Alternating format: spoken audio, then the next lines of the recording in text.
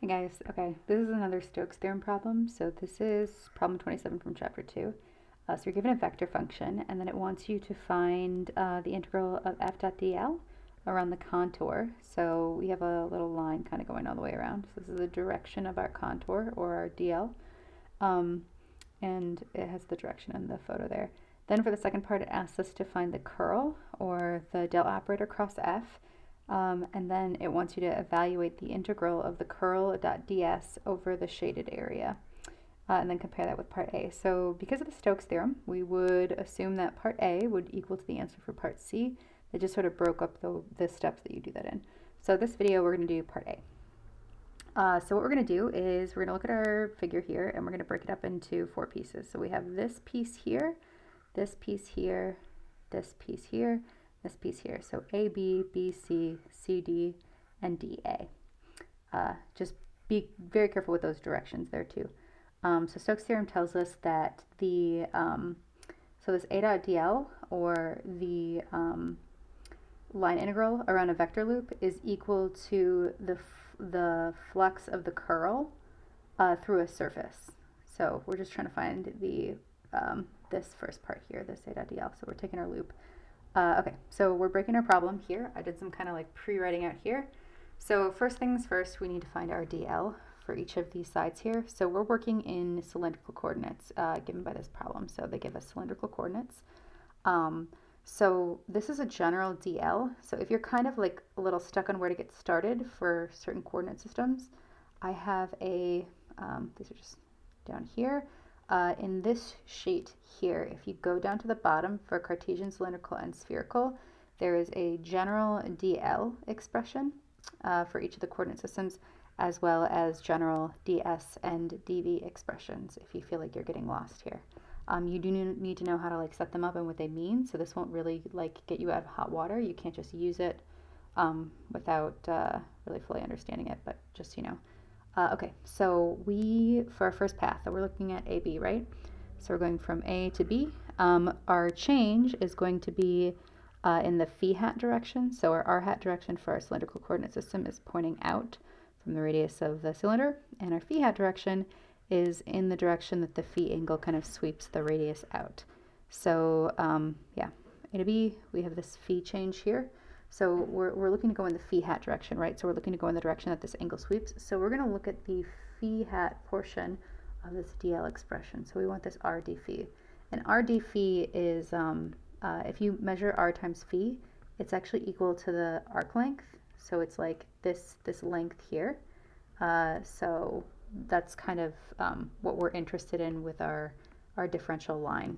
So that's why the math works out that way, but um, we're just kind of taking it um, at face value here. Okay, so let's set this up. So we need our f dot dl. So we have our dl. Um, we're in the phi direction. So this is this is the dl that we want because we're moving in the phi direction and we're looking at the um, arc length here. Okay. All right. So let's go ahead and set up our vector. So we have this f, um, and then we have this dl. And thing copied. And then we have this DL. I hope anyways. Okay, and uh, we are uh, dotting these guys together because they both have directions. They are vectors. Um, and AB here. Okay, so first things first. So we're looking at path AB, so we know that R equals 1 on this path. Uh, so R is equal to 1, and that phi goes from 0 to pi over 2 for that angle. So we're going to plug in first off just r equals 1 uh, over here and r equals 1. And we're integrating, well, we'll see what we're integrating with respect to, but we have our d phi, so we're integrating with respect to phi. So those will be our bounds. Okay, um, so let's cancel out our components. So r hat dot phi hat equals 0. When you're dotting two perpendicular vectors together, it equals 0. So if you look at the picture, r hat and phi hat are perpendicular. They're also directional unit vectors. Uh, okay, phi hat dot phi hat is equal to 1. Uh, just if you dot two of the same directional unit vectors together, you're going to get 1. Um, okay, now let's simplify out here. So we have 5 sine of phi. I'm sorry, we're getting rid of this term here. So that one drops out. Okay, so we have our integral, um, and it looks like we're just keeping cosine of phi, uh, and then d phi. So, okay, so that was pretty simple. We canceled out a lot of things there. So now we need our bounds. Um, so when we're looking at our bounds, we need to take one thing into account here. Our bottom bound will always be where this line starts, and then our top bound will be where this the contour line ends. So our bottom bound for the contour bound, contour line is zero, and our top bound is pi over two because we're, we're looking at phi for our d phi. Okay, so we're going from zero, pi over two, and then if we just plug that in, we integrate and we get sine of phi from 0 to pi over 2, and that is just equal to 1 minus 0, which is equal to 1. So that's our first piece. Okay, so moving on to our second piece, so we're going to look at CD right away just because it's similar. Um, so path CD in our figure here. So paying attention to our line here, we're going from C D here. So we're going from pi over 2 to 0 for, for our phi direction. Okay, so let's let's set things up here. Okay. So notice our DL is the same for the same reasons here. Wow, my copy is not working so well, is it? Copy and paste. Okay. Uh, equals CD here. Uh, so our R value here is 2 because at the top of the circle our R is equal to 2. So that's the second radius that we're just given by the problem. Um, so we're going to set r equals 2 for these guys here. Um, and then we're dotting with our DL here, dot. And we have this r, d, phi, phi hat. Okay, so let's go ahead and dot those. So let's look at which uh, unit vectors cancel first. Uh, always a good practice. Dot phi hat, so for the same reasons, this is equal to 0. And this one is phi hat dot phi hat, which is equal to 1. Um, so we're just keeping this piece and then our um, the second piece here for DL. Okay, so our integral is going to turn into um, r squared. So r squared is, we can go ahead and let's cancel that out right away, so, or like solve it out. So 4, so we're just plugging in 2 over here. 4 cosine of phi, uh, and phi hat dot phi hat is 1, multiplied by um, 2 d phi. So we just, oh, we also plugged in our r over here, equals 2. Okay, so let's go ahead and finish the rest of that. So what are our bounds here? Well, like I said before, the direction is important. So we are going from 0 to pi over 2, but because of our, our the direction of our dl, we're actually going from pi over 2 at the bottom bound to 0 at the top bound. So the direction of that arrow is really important. Um, so pi over 2 at our bottom bound and 0 at our top. Okay? Um, so we have 8 cosine of phi d phi. Uh, so very similar here. Sine of phi from uh, 0 to pi over 2. And that's going to just be, oh sorry, with that 8 there, and that's just going to end up being equal to uh, negative 1 times 8, or 0 minus 1 times, so negative 8 for that part right there. Okay? Um, all right, so we did the two internal and external kind of um, arc lengths there. So let's do the sides, the side radiuses. So we did this guy and this guy. So now we're going to look at these two on the sides. Um, so for our DL, we need the vector direction for the, the pieces on the sides, and that's going to be r hat, right? Because these are going in the in the r hat direction, right? For the for our um, cylindrical coordinate system, this is pointing out or pointing in in the direction of r, so it's positive or negative r hat. We're not, we're just going to do positive r hat for both because we're looking at our direction in terms of the bounds. Um, so we're just going to take r hat here. So that's why we don't need to use negatives for our bounds here because we're taking them into account when we are integrating. Okay, so the integral from b to c, and I'm going to go ahead and copy this guy again. Okay, and I'm going to multiply that by dr r hat. So step one, uh, canceling out uh, those unit vectors. So we'll have r hat dot r hat. We're going to keep that piece, but this one, b hat dot r hat equals zero. Okay, so this piece will cancel. Um, now let's see what else we have here. We have a pre-solved value for our phi here, right? Because for path BC, which is the one that we're looking at right up here, phi is equal to pi over 2 here. So this is the phi for cylindrical, just in between here. It's equal to pi over 2. So we're going to plug that in right away. Okay, so where are we at here? Uh, so phi equals pi over 2. Let's plug that in. Okay, so let's go ahead and simplify this guy, BC, and then we have 5r sine of pi over 2.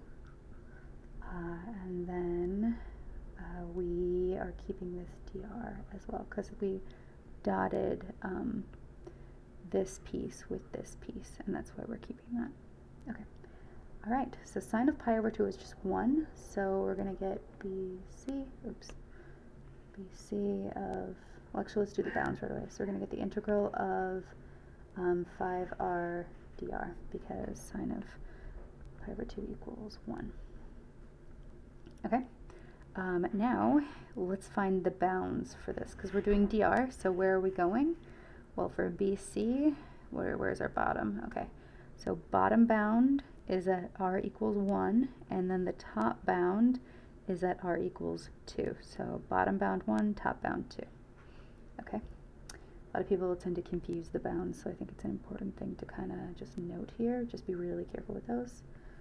Um, really make sure to follow your contour direction. So we're integrating that to the 1, and then our answer here, uh, end up with 15 pi over, or no, sorry, 15 over 15 halves. And we actually solve the guy out there. So 5 times 4, 2 squared, over 2, minus 5 times 1 over 2. So we get 5 times 3 over 2, so that's 15 halves for our answer here. So here's a piece, here's a piece, and here's a piece. Okay, so let's do our last one here. Okay, so same thing for dA. Uh, so we're looking at dA, so phi is equal to 0 at dA. And we'll see that up here. So for dA, our phi is equal to 0. Um, and we are in the r hat direction, right? Because we're along the radius, uh, and it's moving in the r hat direction. So this it's a rotating coordinate system. Depending on that phi, it will change kind of where that that r is pointing. So we, when we're taking a snapshot in time, note that it is rotating, but this is still along the r direction, so r hat, r hat, okay? Um, all right, so we have the same dl. So the setup here is going to be super similar. dA, uh, taking our f here, same thing, okay? Copy, paste, uh, and then we're plugging in our values here for phi. Um, I'm actually going to solve this one out before I plug in the value for phi. It's going to cancel it and make it zero, but I kind of want to show um, all the math just to show the bounds here. Um, so we're going to just plug in our phi last just to be able to show the math. Actually, I don't do it like this, right? Uh, okay, and then dr r hat Okay, so which ones cancel here? So we're going to keep this, right? Hat dot r hat equals 1, and then r hat dot phi hat equals 0. Okay, so this piece will cancel, and then we're going to end up with uh, dA, right? 5 r sine phi, um, and then dr, right? Because we're keeping this piece and this piece and then just that r hat dot r hat equals 1. Okay, so it's looking really familiar, probably. Okay, integrating with respect to r, so we'll have 5 r squared over, oh wait, sorry, our bounds, right? That's what we cared about. I'm going to pull out that sine of phi, because it's a constant here, and our phi is equal to 0 um, which was going to multiply the whole thing by zero. So you're like, why are we solving this? Um, but I think it's just, I just want to note the bounds really quick here. So for D to A, right, uh, we're looking at the direction. So the bottom bound for D is going to be, oops, sorry, bottom bound for D, oops. Bottom bound is at R equals 2, top bound is at R equals 1. So see the arrow direction? Bottom bound is at 2, top bound is at 1. So 2, 1. uh, 5r dr. Uh, very similar, so 5r squared over 2 from 1 to 2, but that's going to be multiplied by 0. I'm going to plug in our phi, so the answer for this piece is 0. Okay, so we did all of our sides. Uh, so the only thing that's left to do is to find the full uh, f dot dl and just sum them all together. So we have 1 minus 8 plus 15 over 2. Let's do this 1 minus 8 plus 15 over 2 plus 0. So that's going to be negative 7 plus 7.5 just for 15 over 2.